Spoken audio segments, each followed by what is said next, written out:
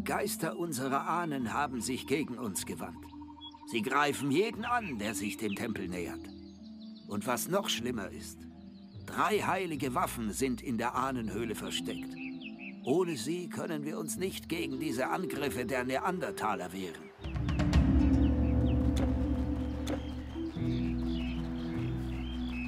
Oh, sehr gut. Komm, Fremder, wir haben heute ein paar gute Sachen für dich. Jederzeit wieder. Sieh dich um.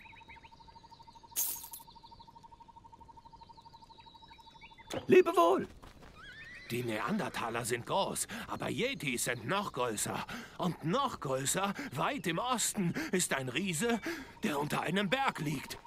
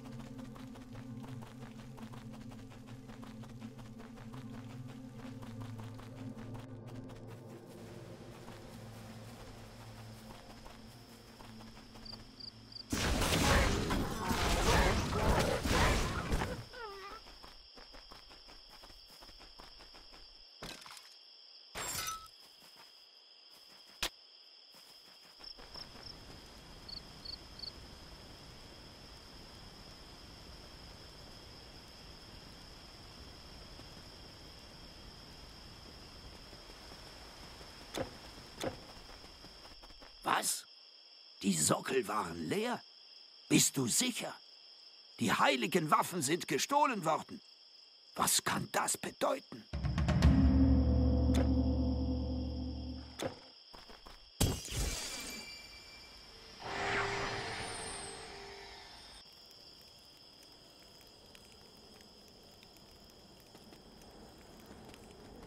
Ich traue meinen Ohren nicht.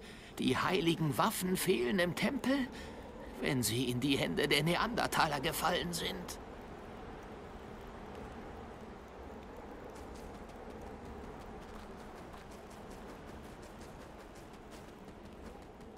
Hallo. Seit den Monstern habe ich meine Karawane verdreifacht.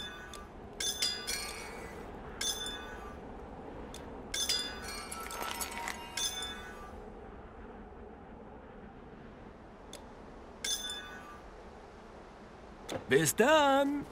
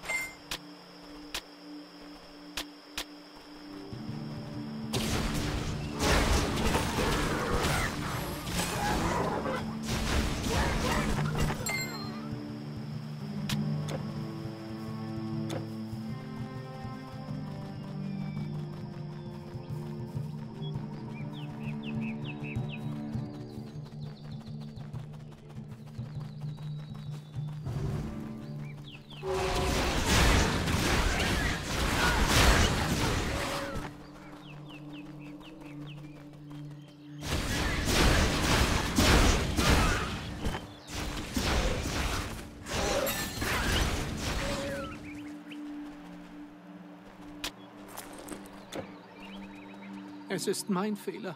Unsere heiligen Waffen. Ich war so ein Narr. Jetzt haben die brutalen Neandertaler sie.